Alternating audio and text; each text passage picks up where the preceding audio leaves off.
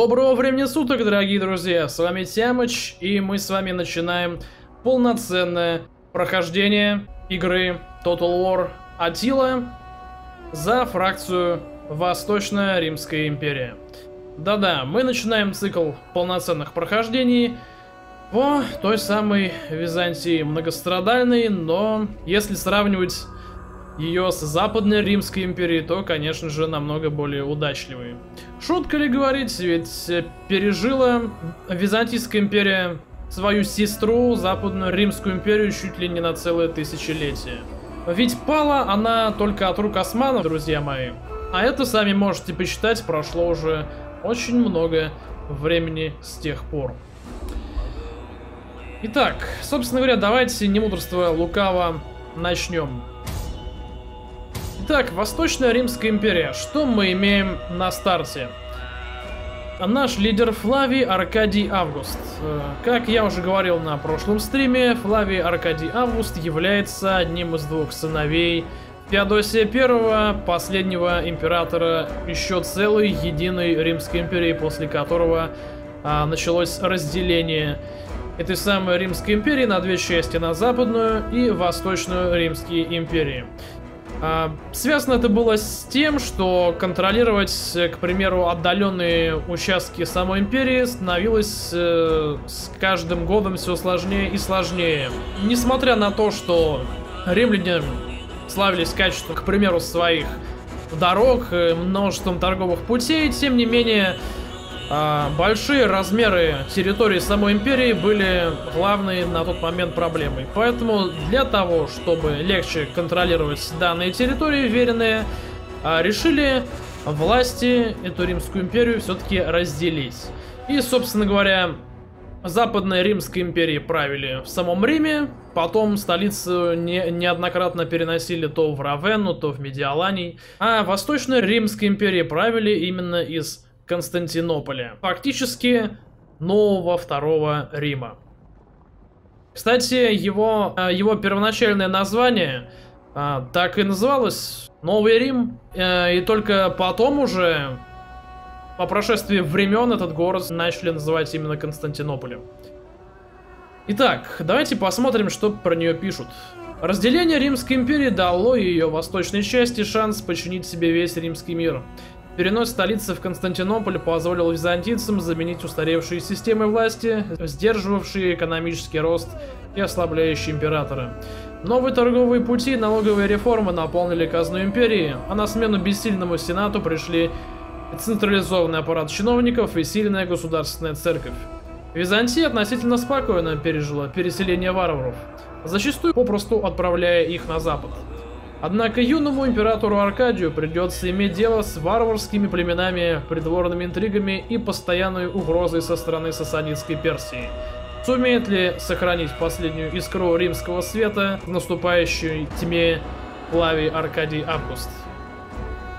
Только от нас это с вами будет зависеть. И здесь я также хочу добавить то, что э, действительно, несмотря на то, что у Западной Римской империи базовая сложность является легендарной, а, у Восточной Римской империи дела немногим на самом деле лучше. А, если посмотреть э, с другой стороны, то может быть даже и хуже. Ведь э, Риму, Западному Риму, по факту откуда ожидать угроз? Только лишь с севера и с востока.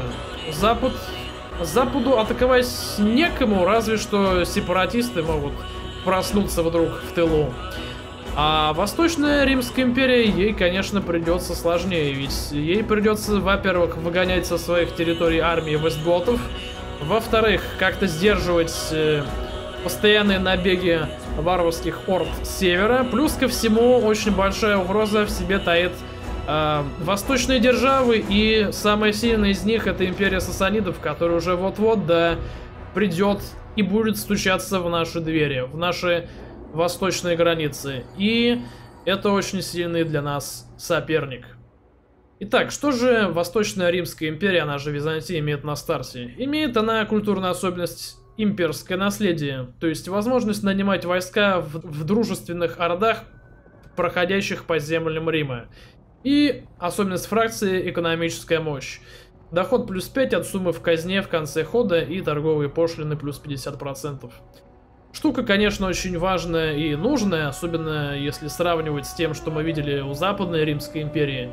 Но надо иметь в виду, что и здесь нам на первых порах придется не сладко, друзья. А очень много времени мы потратим на выстраивание еще, больше, еще более мощной экономики и э, в основном будем отбиваться от атак орд и варваров. Насчет сложности. Как я уже сказал, э, я сейчас не буду вымахиваться, да, и там как-то э, выезжать по поводу того, что я буду проходить на легендарке, потому что э, смысл как был, так остается. На легендарке отсутствует дипломатия и дают неоправданные бонусы. Поэтому я выберу мой привычный режим, на который, в который я привык играть. Это уровень сложности очень высокий для опытных игроков. Собственно говоря, те, кто постоянно следит за моим каналом, знают, что я все свои прохождения на канале по Total War прохожу именно на предпоследнем уровне сложности, ибо, как я думаю, он является наиболее сбалансированным из всех. А, конечно, есть определенные бонусы искусственному интеллекту, но, с другой стороны, не так уж и легко в него играть. Настройки поставлю следующие, которые вы, вы сейчас видите. Ну и, пожалуй, мы начнем. А начнем потихоньку возрождать Византию из пепла и попробуем привести ее к процветанию и миру. Поехали! Византия готова принять бой. Готова принять свою судьбу.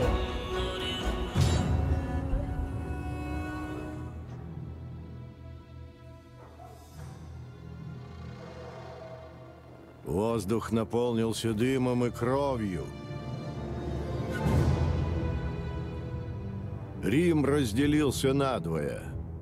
Восточная Римская империя раскинулась от вод Дуная до песков Египта и Аравии. Пока Запад приходил в упадок, оставив вечный город варварам, на востоке всходило солнце.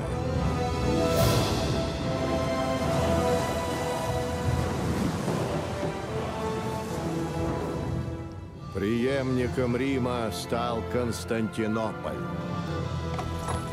Новый город единого Бога. Его жители богатели и процветали, покупая окрестных царей за свое золото.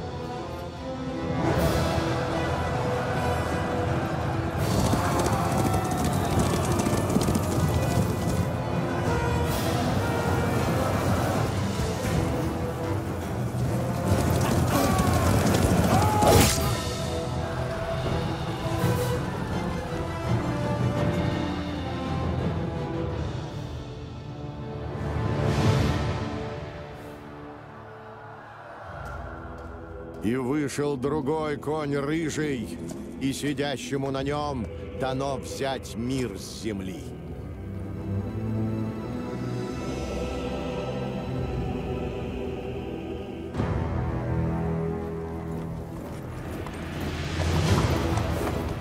Восточные римляне, архитекторы грядущей эпохи и строители новой просвещенной империи — они готовились к войне.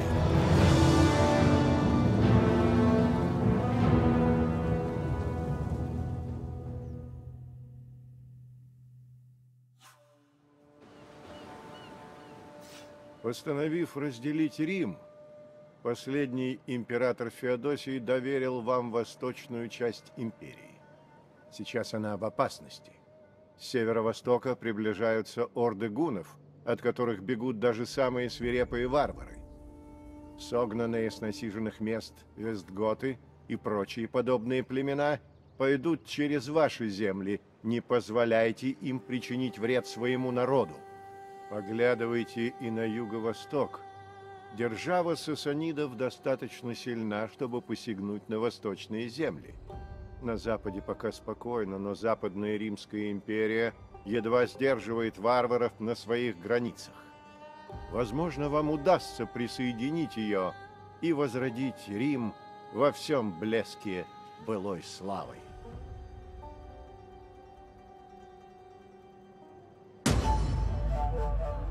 Итак, как мы видим, действительно у нас перед нами стоят очень эпичные задачи, и первоначально кажется, что они почти что невыполнимы.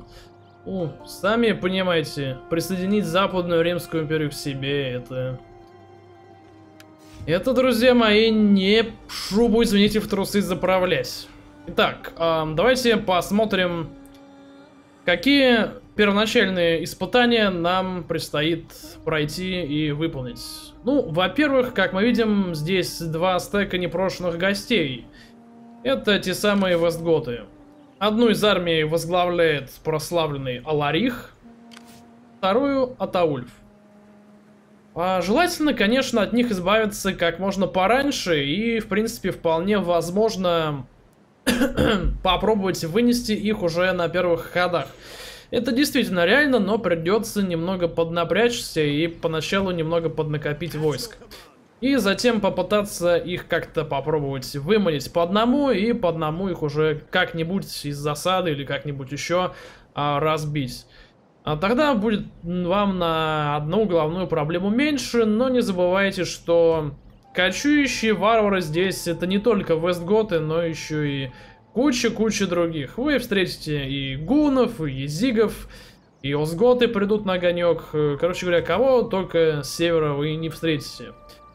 Поэтому, конечно, здесь также нужно иметь это все в виду. И вполне возможно, что свои западные и северо-западные земли, вполне возможно, что вы еще даже и не получится у вас их удержать конечном итоге самое главное, чтобы вас не выкурили из вашей же столицы Константинополя, потому что ордам кочевников вообще взять Константинополь с их э, Феодосиевыми стенами будет практически нереально. Вот особенно если здесь будет full стек, только в том случае, если все-таки они попытаются объединенными силами не только в одиночку, но и с другими варварами вас и с моря, и с суши окружить. Только тогда, я думаю, только у них может что-то получиться. Вот, но, как я уже сказал, первоначальная задача у нас, э, программа минимум, это попытаться либо уничтожить э, вестготов как таковых, либо попытаться их прогнать с наших земель, к примеру, на тот же север или вот к нашим союзникам Западной Римской империи.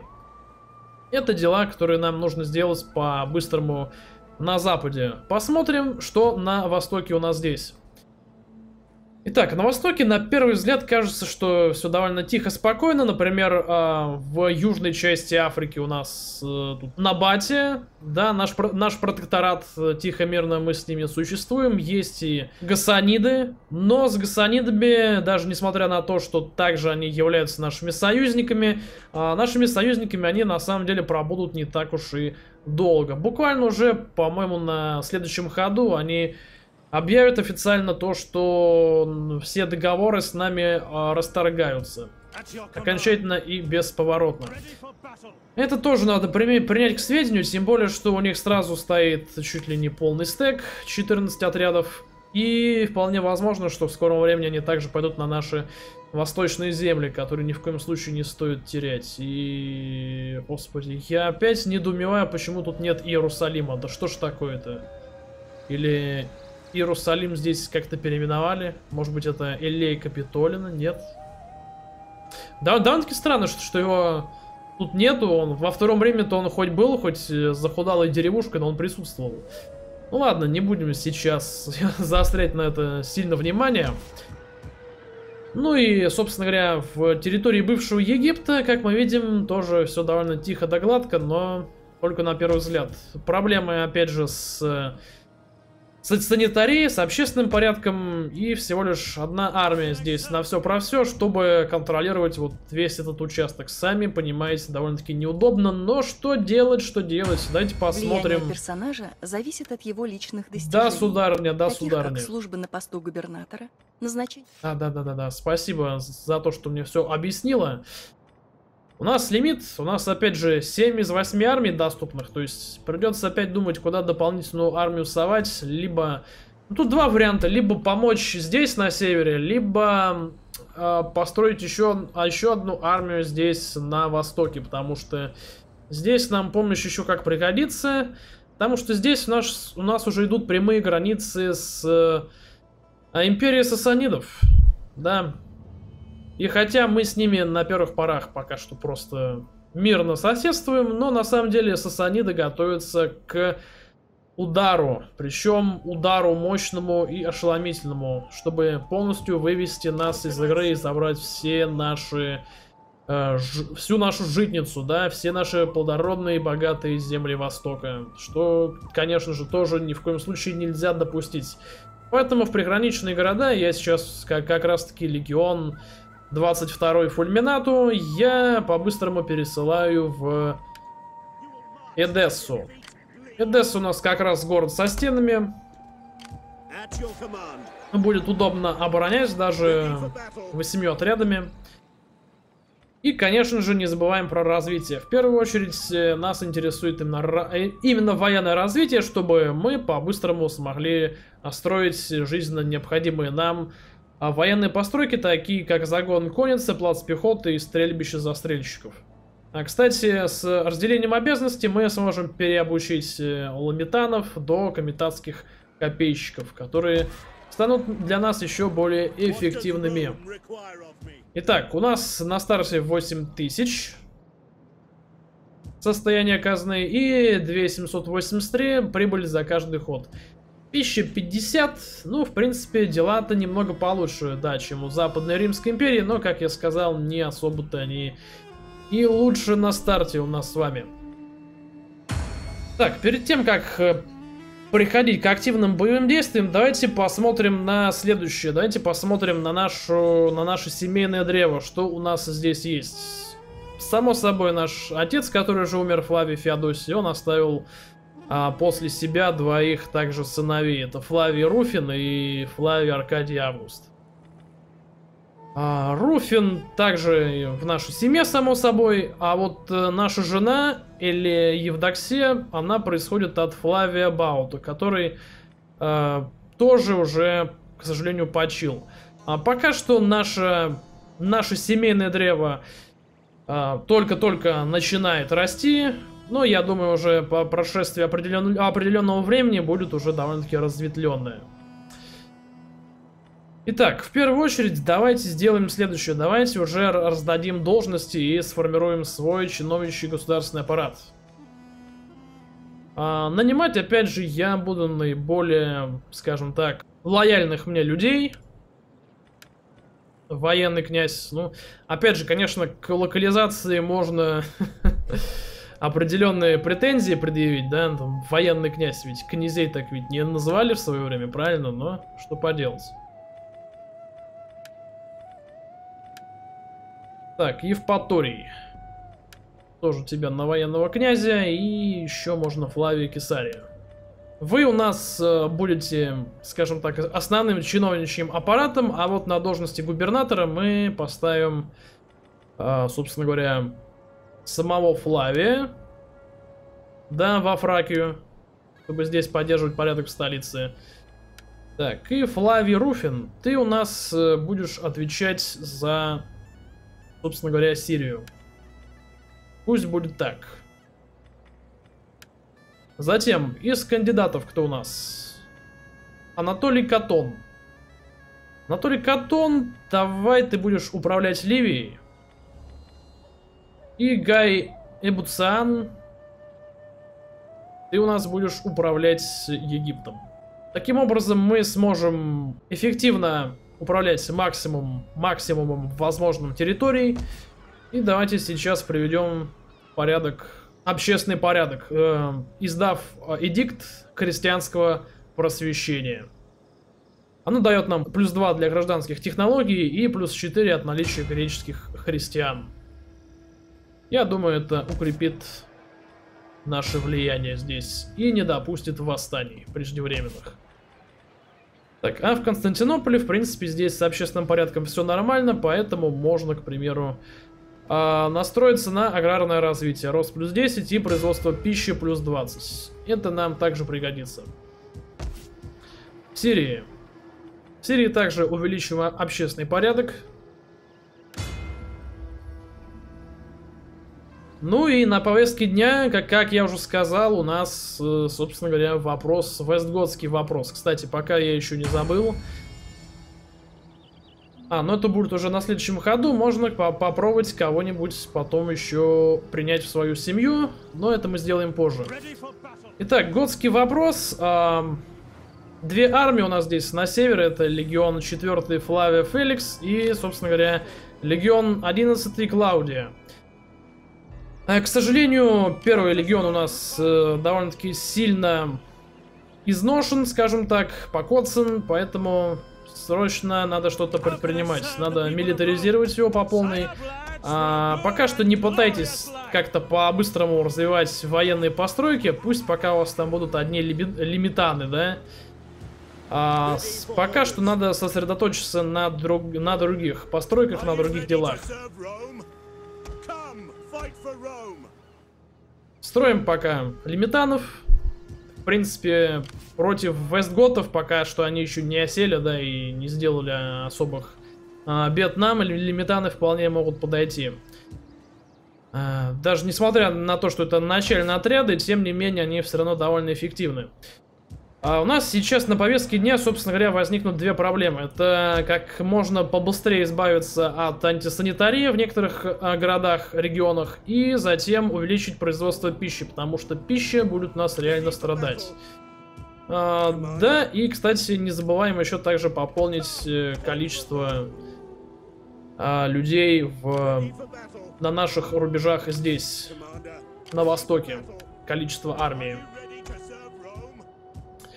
Так, еще можно повысить немного налоги. Тогда у нас будет вообще еще более кучеряво, хотя с общественным порядком, конечно, будут нек некоторые проблемы, но все-таки прибыль, прибыль решает, друзья мои, прибыль решает. Так, ну что, занимаемся потихоньку тогда наведением э, порядка, да? Наведением порядка начнем мы, наверное, вот наших территорий в Азии. Азия также является жительницей. Кстати, давайте посмотрим по, а, собственно говоря, карте, да, по пище, что у нас здесь. Ох, по пище у нас как-то наполовину, да, то есть половина территории более-менее насчет пищи, остальная половина в пище не нуждается, да, она ее производит. А насчет плодородности, да, плодородия. Ну, как всегда, это Дельта Нила, самое плодородное у нас место. Вифиния, Фракия, э, Дардания. Ну и, в принципе, все. А более, ну, остальные уже у нас тут более-менее плодородность. Будем это иметь в виду. Так, давайте посмотрим, что у нас здесь в Кизике. О, кстати, уже можно строить поля. И так, но, к сожалению, оно загрязнение нам дополнительное даст. И загрязнение, и общественный порядок, но что делать? Нам нужно как можно быстрее сейчас получить бонус а, к пище. Богатство от животноводства, плюс 30, так, плюс 40. 54, да? Дополнительная пища, плюс 18 за каждый уровень плодородия. Угу. Ну, давайте пшеничные поля тут тогда построим. У нас здесь в Кизике, так, а в Сенаде тогда, к примеру... Ну и здесь же, да, в Сенаде построим фонтан. А, в принципе, одного фонтана на провинцию должно хватить. Оно дает нам, а, он, он дает нам фонтан санитарию плюс 2 в Сенаде в самой и еще плюс 2 во всей провинции. Так, у нас остается 175 золотых. А значит, уже можно делать следующий ход. Все необходимое мы уже на этом ходу на первом сделали. А можно еще посмотреть что-нибудь на карте дипломатии, да, карте компании. Но здесь, в принципе, ничего особого вы тут у вас тут не получится сделать. А, торговать с вами никто не хочет. Ну и, в принципе, так вы и будете просто торговать пока что уже с вашими имеющимися, имеющимися торговыми партнерами. А, протектораты вы имеете на Батию и Лазы, но на самом деле особо на них, ребят, не, не рассчитывайте уж сильно, потому что а, силы их довольно-таки слабые, к сожалению. Это, протекто... это насчет протекторатов, а насчет э, военных союзников это Гасаниды и Западная Римская империя. Но, как я уже сказал, на следующем ходу Гасаниды практически сразу отвалятся у вас с вами. Хотя вот это меня всегда очень интересовало. Может быть, это баг пресс-версии, ведь с, гаса... ведь с гасанидами у нас очень хорошие отношения. Неприятие культуры. Ну, давайте им что-нибудь э, предложим в дар. Ага, понятно. То есть Просто так теперь мы им заплатить что ли не можем, да? То есть тут вернулась система из империи, из империи Наполеона. То есть мы теперь можем запросить, а предложить теперь вот только определенные, определенные, скажем так, презенты, и то небольшой дар начинается с 2000. Печаль, печаль. Блин, я бы попробовал выдать свою... А, у нас же дочерей ведь даже нету. Как же плохо. Это меня очень печалит. Ну, с ассанидами, конечно, мы никаких дел вести не будем, само собой. И это исключено. Ну да, поэтому можно, по сути своей, сразу делать следующий ход. И готовиться к первым неожиданностям тогда уж сразу. What does Rome require of me? Да, и все в этом духе.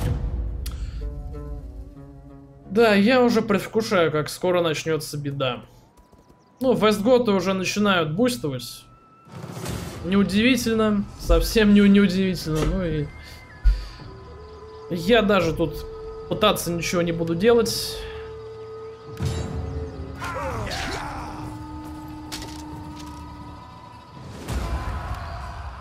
Но ничего, они еще отомстятся за свои, скажем так. Ох, сасаниды, оказывается, во вообще Сразу решили, да? На нас пойти. Так, ну что, смотрите, в принципе, шансы есть, да, вовлечь гасанидов против сасанидов. Ибо наши-то с ними отношения вроде как более-менее, да, а, но проблема может возникнуть в Западной Римской империи с лазами. А лазы у нас это где? Лазы у нас, блин, тоже граничат с нами. И отношения у нас с ними ну, не знаю, не особо, да? Станет ли это для нас проблемой, вот не знаю. Но раз уж сасаниды на нас сразу поперли, то я, я попробую позывать на союзников на помощь. Посмотрим, кто придет. Отлично. Слушайте, к нам присоединились все, кроме Западной Римской империи, да и бог с ними. Собственно говоря, их проблемы это их проблемы, не наши. А, самое главное, к нам присоединились все. И на базе, и гасаниды, и лазы. Что же, шикарно, но и... Тут проблема в том, что у них-то... у них-то больше протекторатов. Да, у них тут и Парфия, и Ария, и Макран, и Мазун, и Афригиды, и Лахмиды. Блин, кстати, а, у Гасанидов с Лахмидами будет прямая конфронтация. А, но, кстати, что интересно, у сасанидов также, э, они потеряли сейчас в войне с нами, да, когда они, они объявили нам войну и много своих союзников. То есть они потеряли Армению, они потеряли Аран, Антропотену и Абахшар. Посмотрим, во что это выльется. Может быть, они, им же хуже будет в конце концов. Итак, объявляет нам войну Бахрам, возраст 42 года, темпераментный и терпимый к чужим религиям. Ну, что же, ты выбрал свой путь. Посмотрим. Посмотрим, что из этого выйдет. Да, очень я вовремя свою, и своевременно перевел свои армии на Восточный фронт, потому что сейчас там будет действительно жарко, друзья мои. Действительно жарко. Итак, уже пошли первые разграбления, должность получена. Отлично. И у нас теперь господство 31 и контроль 70%. Лесть и взаимные обязательства помогли нашему человеку занять должность. Итак, Видоний, военный князь. Отлично. Евтропий. Замечательно. Плавик Кесарий, все. А, наши чиновники все уже заняли свои должности, и я этому рад. А, работайте на благо страны. Работайте на благо Великой Византии. Итак, я уже нанял своих ребят. И теперь что мы делаем? Что мы с вами делаем? Такс. Придется, к сожалению, короче говоря, один на один сражаться, скорее всего. Что у нас с наемниками? С наемниками у нас пусто, да? Угу. Это не есть хорошо, конечно. А, ну, зато мы можем сейчас быстро маршем, быстро маршем пройтись. по-быстрому. Давайте это и сделаем. Как раз сейчас алчущие боя а, пошли на стоянку. Значит, мы сейчас с легионом четвертым по-быстренькому пойдем вот сюда. Будем а, сейчас наказывать великанов, и, по-моему, сейчас можно попробовать Алариха заманить в ловушку. Того самого Алариха, вождя Вестготов. Так, так, к сожалению, нанимать мы никого не можем. Но, что самое главное, мы можем заманить в ловушку этого самого Алариха, вождя Вестготов. Что, в принципе, все складывается в нашу пользу, поэтому я не вижу а, проблем сразу начать бой, начать битву. И если мы сможем завалить Алариха, это на самом деле будет очень большой победой.